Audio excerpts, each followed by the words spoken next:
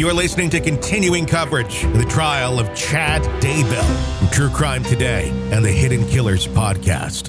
Let's go back to the courtroom. All rise. If the court's now in session, Honorable Steven W. Boyce, Judge presiding. Thank you. Please be seated. All right, good morning, everyone. Let's go ahead and have our jurors brought in, please. All right, please. Here's our President Counter for your honor. Thank you. Please be seated. All right, good morning, everyone. We're on the record now on case CR 22 21 16 23, State of Idaho versus Chad Guy Daybell. We're continuing with evidence with the state's case in chief. Court will note the jurors are all present, properly seated and accounted for, and the court has received the signed juror affirmations of all of our jurors. So thank you again for continuing to follow the court's instructions. At this time, then, I understand the state will be calling another witness, and who is going to be examining the witness, and who will the witness be? I will, Your Honor, and the state calls Katie Dace. Very well, you may call your witness. You solemnly swear or affirm the testimony you're about to give will be the truth, the whole truth, and nothing but the truth, so help you God? Thank you.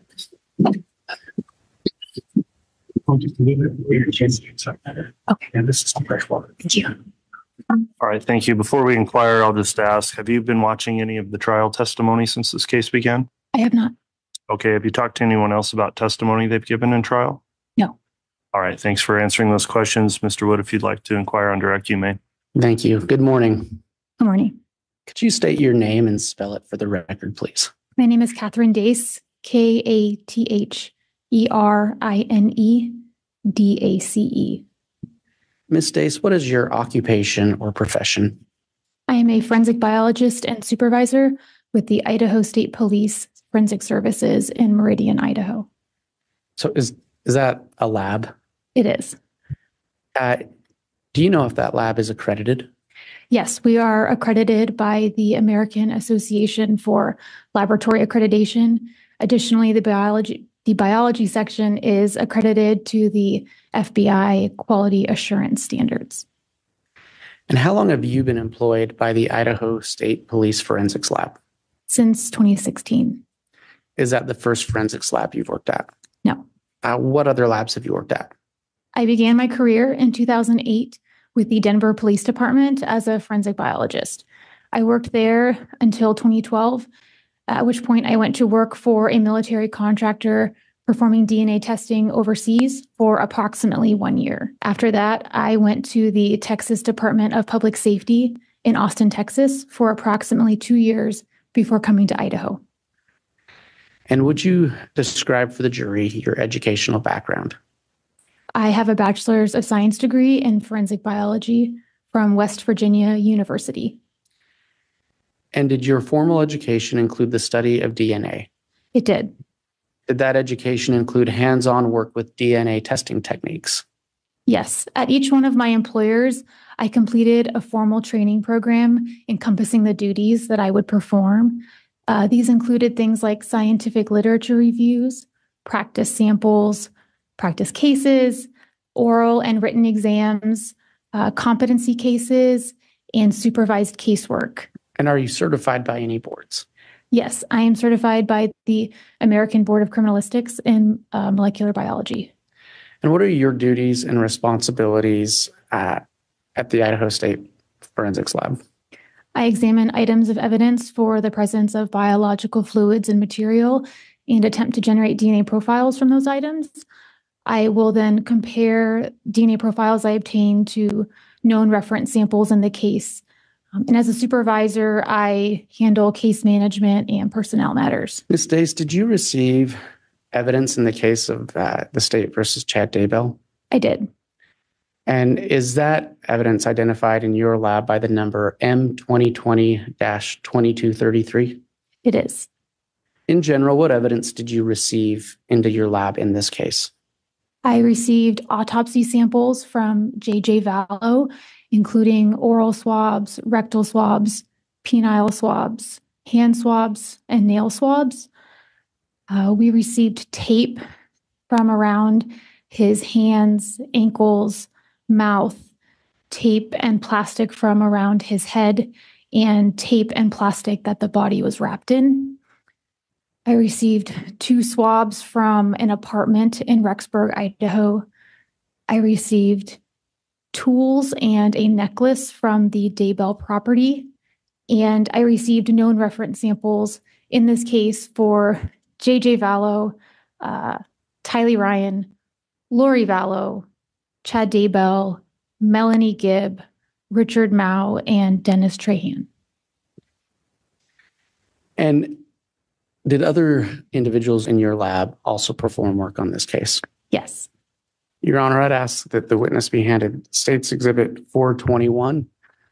Uh, This is an Idaho State Lab report by Riley Nolan. I believe it comes in by way of stipulation. It's by stipulation, Judge. Very well. Exhibit 421, having been offered without objection, is admitted. Ms. Dace, can you just quickly review the first couple pages of that? And what is that? This is a DNA report written by our laboratory, Right. And who wrote that specific report? Riley Nowlin. And are you familiar with Riley? Yes, she is my supervisor and our laboratory manager. Right. And do you know what the purpose of that report was? Uh, this was uh, parentage comparisons between um, samples from presumed to be JJ Vallow and Tylee Ryan and uh, Lori Vallow and JJ's father, Dennis Trahan. And Your Honor, may I publish that for the jury? Yes, you may. I almost called you Ms. Nowlin. Ms. Dace, uh, can you uh, explain to the jury the uh, the evidence description, the items that were being tested in this specific report? Uh, there are molars uh, presumed to be from Tylee Ryan. There's a reference sample from Lori Vallow, a reference sample from Dennis Trahan, and we previously obtained a DNA profile from a tooth presumed to be f- from JJ Vallow. Um, can you just read into the record the conclusions and interpretations of that report? Yes. So, based upon evaluation of the DNA profiles attained from item 23 and 25, Lori Vallow cannot be excluded as being the biological mother of the deceased individual said to be Tylee Ryan. The single parentage index for the loci examined is 2,528 million. At least 99.9999, there's four nines of the female population would be expected to be excluded from the possibility of being the biological mother of Tylee Ryan. So that's not language that most of us usually use, right? Can you uh, explain to the jury what that uh, what that conclusion and interpretation means? So you get half of your DNA from your mother and half from your father. And so at every location, you are expected to share uh, DNA from your parent to your child.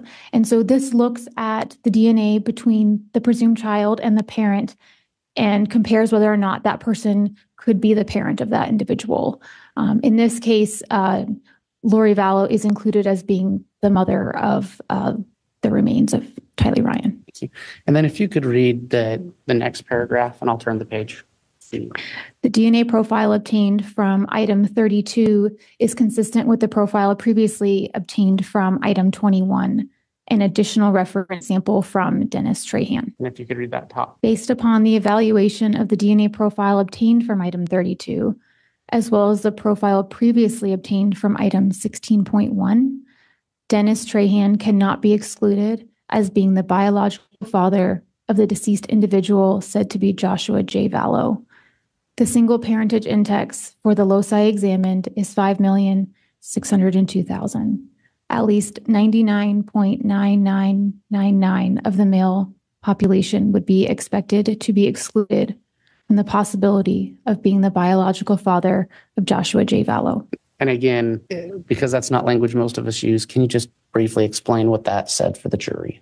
It said that Dennis Trahan cannot be excluded as being the father of those remains. So he is included as being the biological father. Thank you.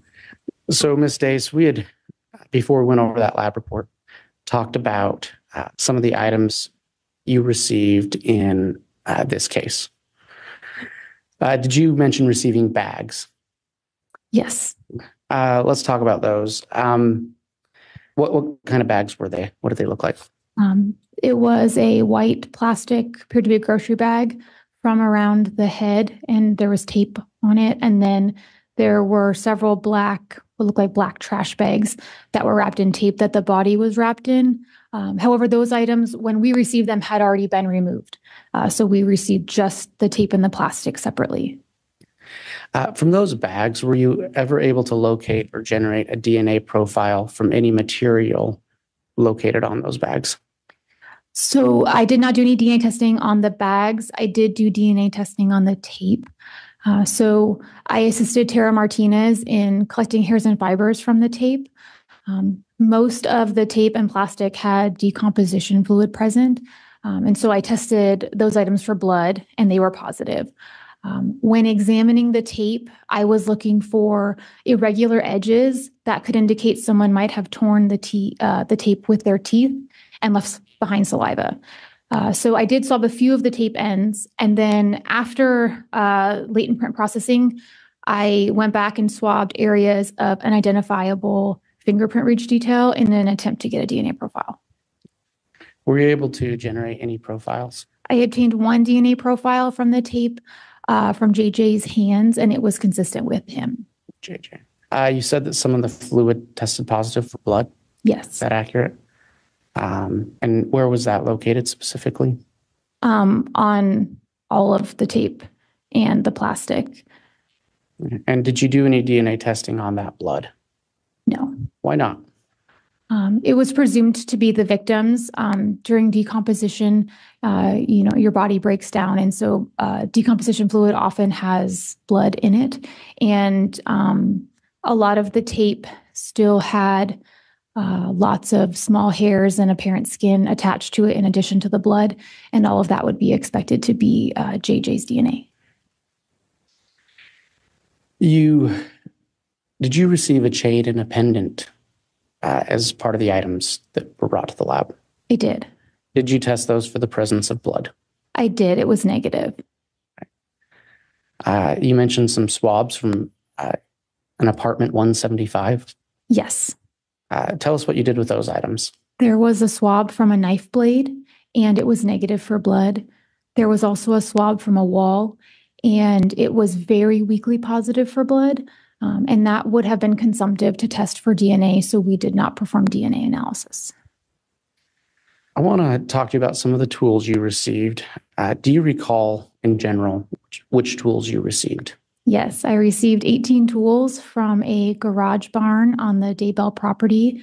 They included a post hole digger, a garden hoe, shovels, a pickaxe, axes, shears, and hand saws. Did you do any type of testing on any of those tools? Yes, they were requested for uh, blood and human remains. So I did find quite a few small stains on handles of many of the tools uh, that did test positive for blood. They were very small and uh, would have been consumptive to test. So I did not uh, perform DNA testing on those. On four of the tools, I located what I thought could be human remains and I collected that material. Uh, I photographed it and then I performed DNA testing on a portion of it. Um, so that was on four tools.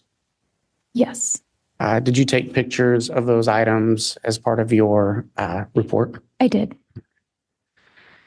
So tell us a little more about that process of when you you bring in a, a tool or a sample. Like, what specifically are you looking for, and how do you go about testing it?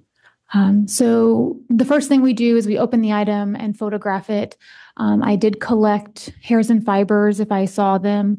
Um, some of the tools were quite dirty, so I needed to remove the dirt in order to see the surface of the item. And so I, I did that as well. Um, I also removed some ashes from several of the items. And then I go about looking for stains that um, have the appearance of blood or could possibly be blood mixed with, say, dirt or or ashes or something like that.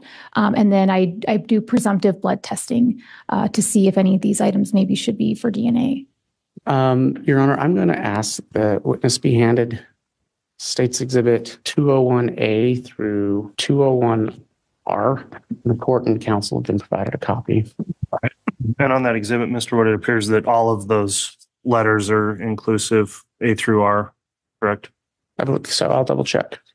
I confirmed with my courtesy copies, just making sure none were removed out of the sequence.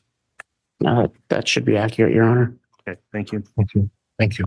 Ms. Dace, if you'll just take a second and review States Exhibit 201 A through R, and let me know when you've had a chance to look at it. Okay, Do you recognize States Exhibit 201 A through R? I do. Uh, what do what does that purport to be? Uh, these are photos I took during my examination um, of the tools and of uh, hairs and fibers collected from the tape. And you said these are photos you took yourself. Yes, Now, some of these photos have markings on them. Are these markings that you uh, placed on the photographs? yes, uh, or the item itself, depending on what it was. And are those uh, markings a part of your regular um, testing uh, procedures? Yes, Right. And are these pictures true and accurate copies of uh, the photographs you took? they are. Your Honor, I'd ask that States Exhibit 201A through R be entered into evidence. No objection. Okay, exhibits twenty-two oh one A through R are all admitted. Ms. Dace, if I um, ask about item 36.4, do you know which one that is? It's a shovel. Um, and is that a number that your lab assigned to that tool? Yes, item 36 uh, was a collection of tools uh, from the garage barn. Um, can you tell, uh, well, Your Honor, I'd ask that I be allowed to publish. You may. Is that item 36, is that item 36.4? Yes, Okay. And it's kind of hard to see the writing on there. Tell us what you did with this shovel. um, I examined it for blood and uh, I did, I swabbed all of uh, the ends of the tools. Um, I did not run them for DNA, but we did swab for, for preservation. So those dashed blue lines that you see indicate the sampling I took from there. Um, and then I also collected some possible human remains from this item. Can you tell us what we're seeing in States Exhibit 201B? Zoom out for you. So the area on the right side of the photo uh, was what I thought could be possible uh, charred flesh. Um, it's a little hard to see here, but it had a little bit more of a pinkish tan hue than the rest of the dirt and everything around it. Um, so I collected that and then I took a photograph and I ran a portion of it for DNA. And what does the jury see in States Exhibit 201C? This is a close up of that material that I collected. Um, and then the blue box uh, indicates the portion of it that I ran for DNA. Were you able to generate a DNA profile from that material? I was not. Can you tell me about lab item 36.5? I believe it's another shovel. I'm going to show you what's been marked as States Exhibit 201D. Do you recognize that image? I do. I took that photograph. Is that item 36.5? Yes. And what, uh, did you do any type of testing on this item? Um, I did the same as as with the other tools. I tested for blood and then um, examined the tool head for um, blood or human remains. Was there any material that caught your attention? There was. I'm going to show you what's been marked as States Exhibit 201E. What is, what does the jury see in this image? Could you slide the photo up a little bit so you can see the labeling at the bottom? There we go. Um, so these, this is again um, more material I collected from the shovel. Um, it has a little bit different look than just dirt. Uh, it's more tan, and the pieces on the left are very, very small. Um, but the material on the right was a little bit larger, and so I did collect collect both of them. Um, and the one on the right was what I selected for DNA. I'm going to show you what's been marked as States Exhibit 201F. Do you recognize that image? I do. What is that? That is a close up photograph of that material on the right of the shovel, and the blue box on the left uh, indicates the area that I ran for DNA. And were you able to generate a profile? I was not. Your Honor, I talked with the court yesterday about uh, bringing in items or states exhibits 172 and 173. I'd like to ask those be brought in now. They're here. Okay. Your Honor, is there a handheld microphone? Yes. Thank you, Mr. Bailiff. Ms. Dace, if you could approach this table. Can you hear me? Yes, and I, I see you have your gloves on. Okay. Uh, Ms. Dace, uh, the shovel that's present on that table, did, did that have an, an item number in your lab? Um, yes, this was item thirty-six point three. Okay. Um, what, when, do you- when you got that, sh- that shovel, uh, thirty-six point three, and that's States Exhibit one seventy-three, um, I'm just going to refer to it as the shovel, if that's all right with Yeah. you. Okay. Uh, when you got that shovel, what did you observe? Um, there were ashes uh, present on it. It was also dirty. Um, there's various staining on the shaft of the tool, um, and I did test them for blood. And these on this item, they were all negative. And did you uh, observe anything in the blade area of that shovel? I did. What did you, what did you observe? And, and please feel free to show the jury where you observed it. Um, on the back of the shovel, there's a lip on the back edge, and there was some material adhered to the back of the lip that I thought could be human remains. And can you point to where you thought it was? Right in the lip, right here. Okay. And did you do any testing on that material? I did. I performed DNA testing. And if you want to go ahead and have a seat and we'll have you come down again in a, in a minute. And you're on, I'll continue publishing through the Elmo. You may. Do you recognize, uh, I apologize. This is States Exhibit 201G. Do you recognize that item? I do. It's a picture of that shovel. The same shovel that we're looking at on this table? Yes. Okay. I'm going to show you what's been marked as States Exhibit 201H. Do you recognize that picture? I do. It's a picture I took of that substance that's on the back lip of the shovel. Uh, it's circled. And then there's also some very small fragments near it uh, that are uh, pointed to. Uh, the one on the left, the larger piece, is what I uh, ran for DNA. I'm just going to zoom in a little bit. Do, is there a pointer up on that desk? Yes. Could you, I, I realize that it's kind of circled, but if you could just point out to the jury what you see. Right there. And you said you collected and tested that. I did. I'm going to show you what's been marked as 201I. Do you recognize this image? Yes, that is a photo I took of that material once it was removed from the tool. And it says it was taken with a stereoscope. What is a stereoscope? Um, a stereoscope is a type of microscope used to photograph images you can already see with the naked eye. It just gives you better resolution. Uh, this is not that photo. This is a photo just with my normal camera. Okay. I'm going to show you what's been marked as States Exhibit 201J. And, and what is that? This is the photograph under that stereoscope of the material. And the blue box on the left is the portion that I ran for DNA. I'm sorry, I was a little distracted by the light shining off. Can you, uh, what did you do with that? The portion on the left, I ran for DNA. Okay.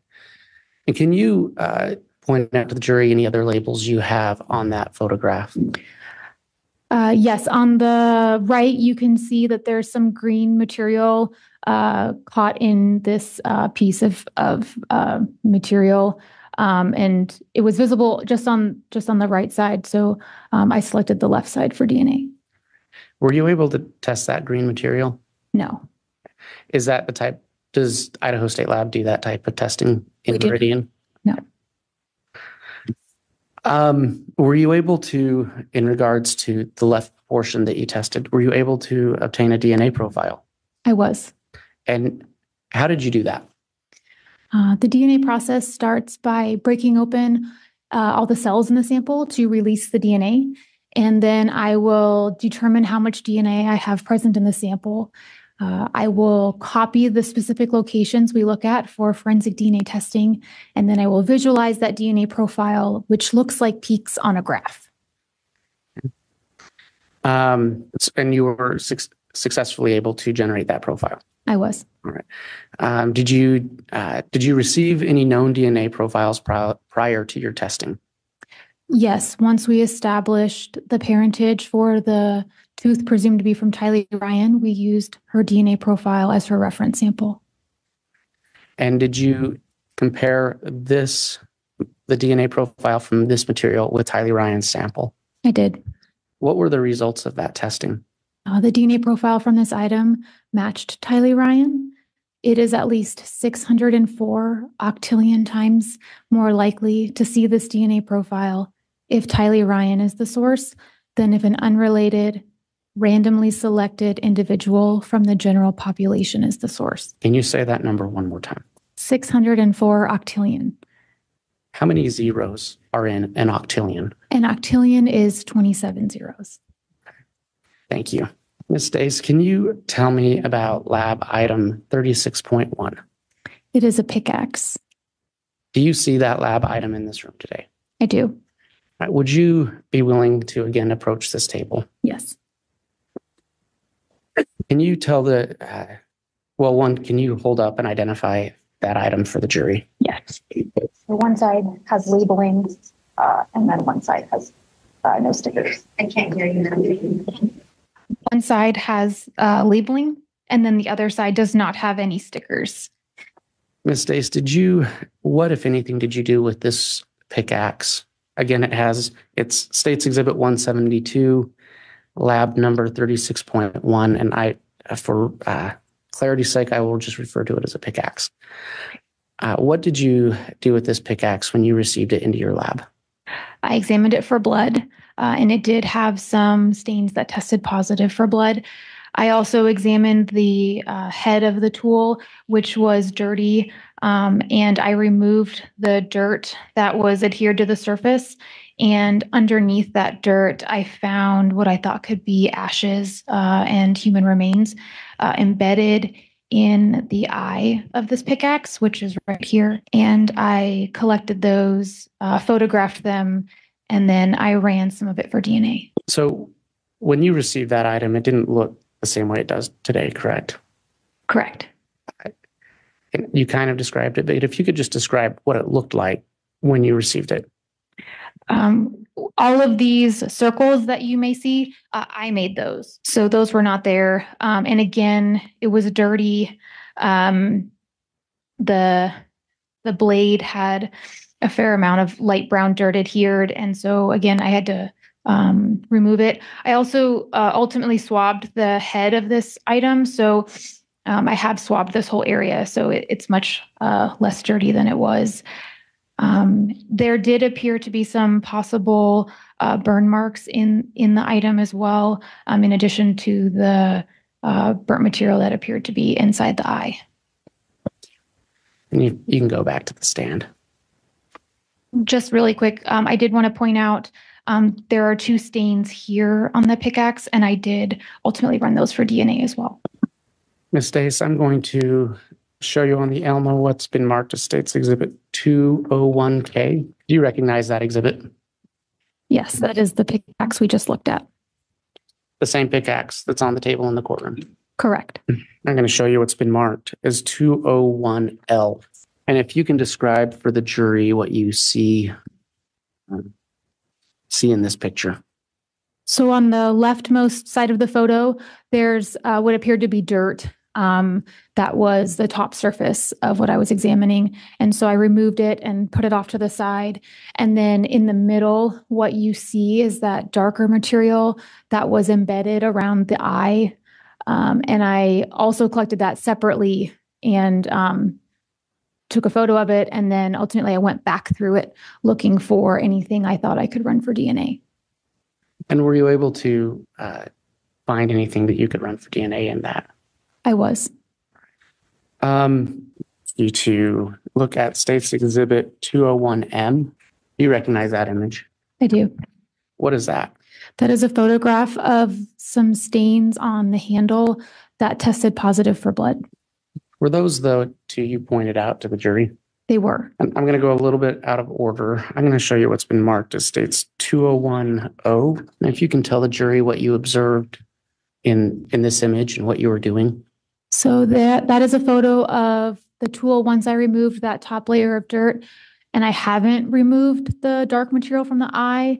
Um, as you can see, it's um, all around the um, shaft and um, it's it's a little hard to see because it's dark, but it's basically in between the metal and the shaft as well, and then it's adhered to the surface of it. And now I'm going to show you what's been marked as States Exhibit 201N. What is that? Uh, that is a photograph of some of the larger pieces of material that I removed from that dark pile of of debris from the eye. I'll show you what's been marked as State's Exhibit 201P. You recognize that picture? I do. And what does it represent? It is a portion of what was in the previous photo. It was the largest piece of material I found. What did you do with that? Uh, the area in the blue box is the portion that I ran for DNA. Were you able to obtain a DNA profile from that subject? I did. I obtained a partial DNA profile. And can you explain for the jury what a partial DNA profile is? Um, it means that at some of the locations we tested, we did not get results. Um, that's very common in samples with a low level of DNA or samples that are degraded. And when you say degraded, what could cause degradation? Uh, heat. So being uh, subjected to uh, a fire could could cause that degradation. And when you obtain a partial DNA profile, are you still able to do a comparative analysis against a known profile? In this case, yes. Um, is it accepted in the scientific community to do a comparative analysis with a partial profile? Yes. What were the, re- uh, and in this case, did you do that comparative analysis? I did. Uh, what did you compare it against? I compared it against the known reference samples I had in this case. And can you just remind the jury what those known reference samples were? Um, at this time uh, that I was doing this examination, I had a reference sample from J.J. Vallow, Tylee Ryan, Lori Vallow, and Chad Daybell. And from your comparative analysis, did you come to any conclusions? Yes, Tylee Ryan was a possible contributor to that partial DNA profile. Um, it is at least 159 trillion times more likely to see this DNA profile if it originated from Tylee Ryan than if it originated from an unrelated, randomly selected individual from the general population. And, and again, that's kind of, for lack of a better word, scientific speaking. Uh, just for from a layman's perspective, how would you describe that?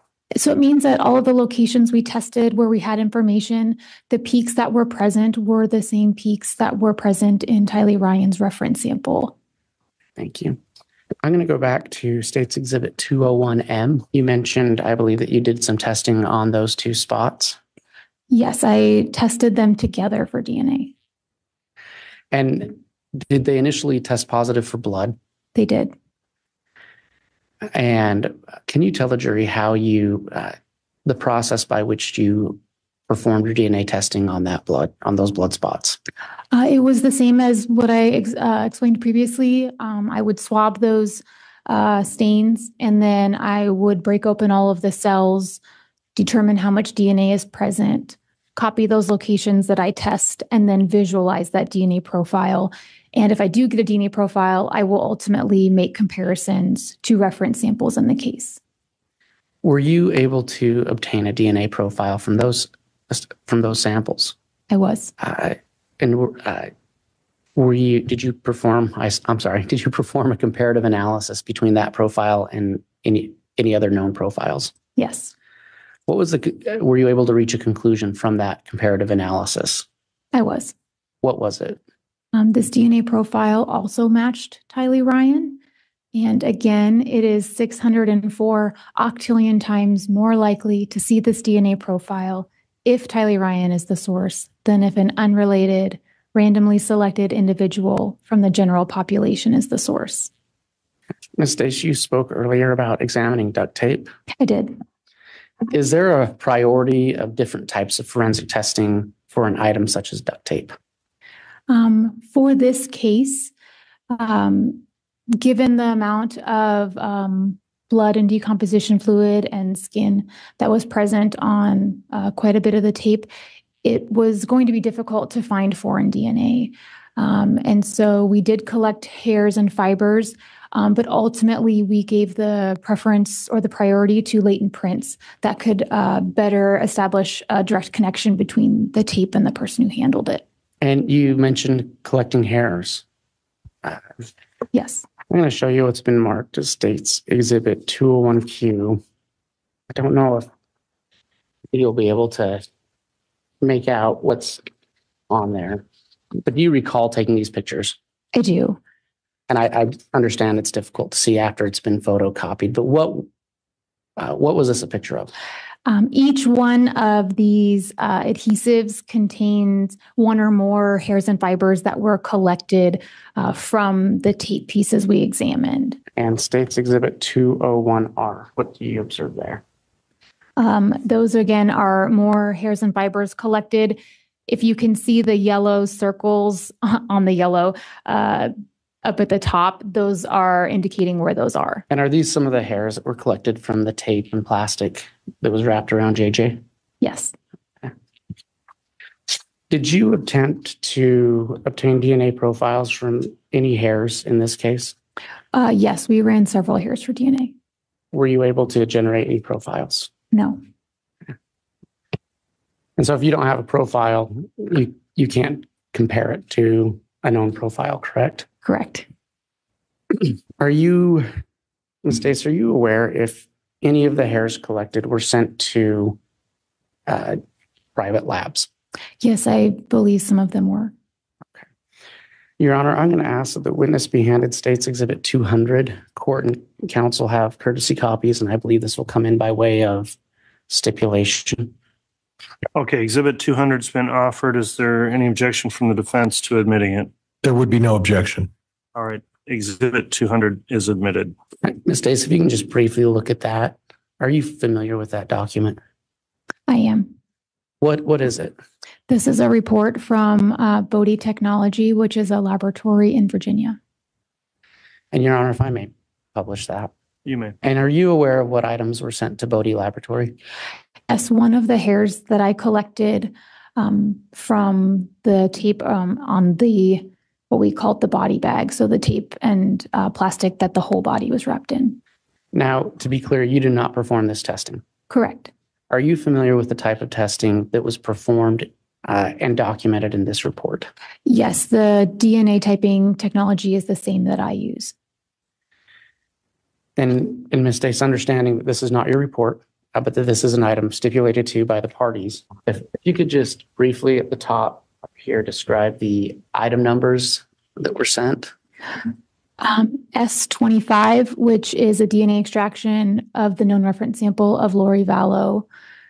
Um, V23, which is the DNA extraction sample for Tylee Ryan.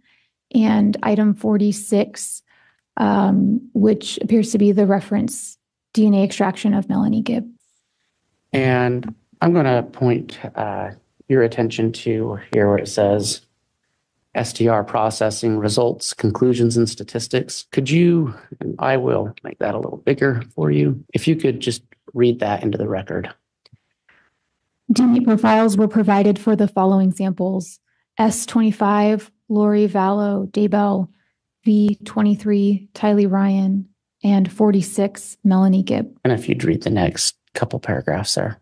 The partial DNA profile obtained from sample CCB 2235 0241 E 01 is consistent with a female contributor, female one.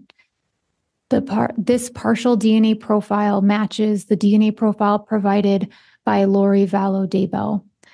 The probability of randomly selecting an unrelated individual with this partial DNA profile is at least 1 in 71 billion in the US population. I'm not going to ask you to read the rest of the that. So this was, to your knowledge, a hair collected from black bags wrapped around JJ Vallow. Yes, it is given the item number 11.16.8B. Um, that is the piece of tape labeled number eight by our laboratory, and that was one of the hairs from that tape. Okay, so from the tape on the black bags. Yes, Okay. And from your understanding of this report, they tested it against Tylee Ryan, Lori Vallow, and Melanie Gibb, correct. and it matched for Lori Vallow. Yes, as a partial DNA profile. And Your Honor, may I have a brief sidebar? Yes. Your Honor, at this time, the state has no further questions. All right, once you're ready, counsel, uh, cross-examination, Mr. Prior. And Judge, I'm going to need Exhibit 35 and 36, which is Defense Exhibit 35 and 36. Okay, we'll get those for you. In addition, Judge, I'm going to move for um, Defense Exhibit 48, which represents the Bode Laboratory report. My understanding is this is being, uh, there's a stipulation regarding the uh, admission of Exhibit 48. It's been previously provided to the state. Any objection on 48? State doesn't have an objection to the Bode Lab report coming in. I, I, I do believe we've already just admitted it though. So I don't know if it's, if we want two exhibits with two identical exhibits with different numbers. Okay, And I'll we just do leave that have to the the board. Bode Technology Laboratory report, three pages, that's already states Exhibit 200. Yes, Is that the same thing as Exhibit 48?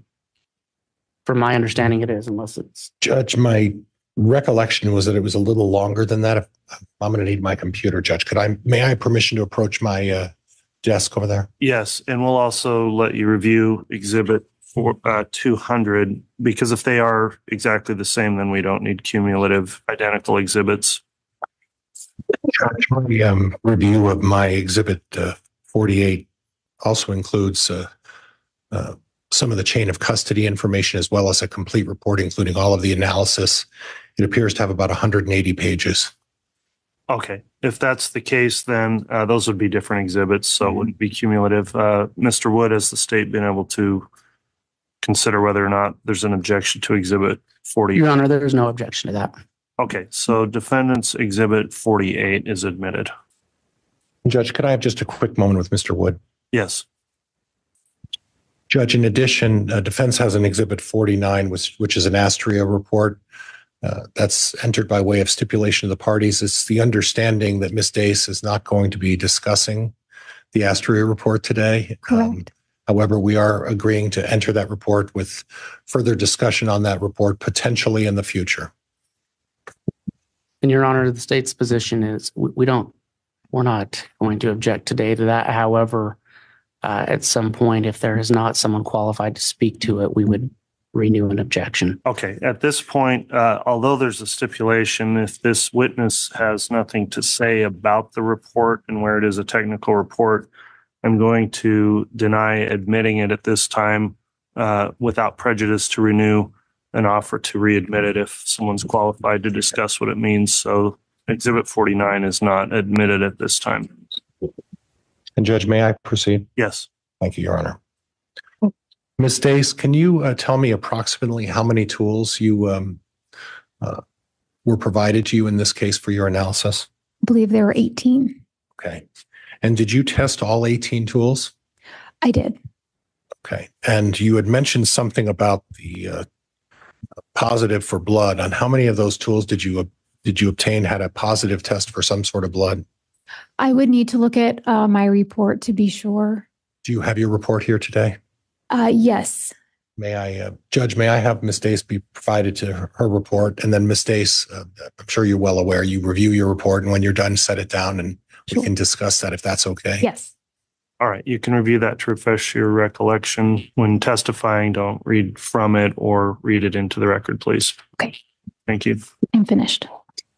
So, uh, of the first 10 tools that I looked at, all but one uh, had small stains that tested positive for blood. And were you able to determine whose blood were on all 10 of those? I'm sorry, how many? Uh, nine. None. Yeah. Of the 10 you initially tested, the, the nine had were positive for blood. Were you, did you do any follow up to determine whose blood was on those nine tools? No, all of those stains were very small um, and they were consumptive for testing. Okay. Now you mentioned that um, your your um, occupation obviously is to do DNA analysis of of uh, of things for the state police. Is that right? Yes, uh, our laboratory serves um, all Idaho law enforcement agencies and prosecutors' offices and public defenders' offices. Okay. And can you talk to me a little bit about um, the manner in which DNA can be, um, uh, in terms of uh, how DNA gets on on various tools?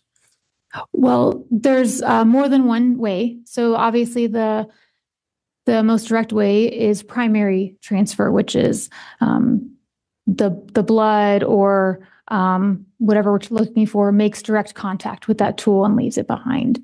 Um, there's also what's called secondary transfer, which is um, if it was on the blood was on something else and then it touched another object, it could potentially transfer. Um, dried staining is much harder to transfer, um, but when it comes to things like handler or touch DNA, that can be more common. And and that's not the only limitation on DNA. DNA can be uh, can be placed on an item by way of of something like sweat. Oh yes, yes. Um, so there's different ways to leave DNA. Um, obviously, the major fluids are blood, semen, saliva. Um, there's urine, uh, hair, as we talked about, and then also uh, what we would call wearer DNA or handler DNA. So um, I'm leaving behind DNA on uh, my suit jacket right now from wearing it, um, from sweat and just skin cells, um, or the gloves I was wearing earlier. My DNA is likely now on the inside from wearing them. So, in any situation uh, such as the pen that I'm holding right now, when I set this down and and someone were to take this, uh, there's a strong likelihood that my DNA would be on this pen, Yes, it's possible. and that would be in the way of uh, skin cells. Yes, It could be by way of perspiration. correct. It could be by way of just uh, uh, my breath, breathing, and I, I. Please forgive me if I spit or if I uh, there's some sort of uh, air fluid that comes out. My DNA could be found on that as well by way of me just simply breathing on this pen. Correct. Yes. Okay. And uh, the second set of tools, you said the first ten. Then how many did you did you look at after that? Uh, it would have been eight. Okay, and on the eight uh, of those eight remaining, we've already talked about the first 10, and the nine of them had blood stains on them, right? And potential blood stains. Okay. And then of the remaining eight, how many of those had any uh, indications of DNA on them? None. Okay. And on all of these 18 tools, did you examine all 18 tools? I did. Okay. On any of these 18 tools, well, let me preface it with this. Um, was it your understanding that, that these 18 tools came from the garage of Chad Daybell? Yes. And you- when did you get uh, possession of these tools on what day? I would need to look at uh, our laboratory report. Mr. Bailiff, I'm sorry, you're working overtime today. There's more to come in the trial of Chad Daybell. Press subscribe so you don't miss any of our continuing coverage right here from True Crime Today and the Hidden Killers podcast.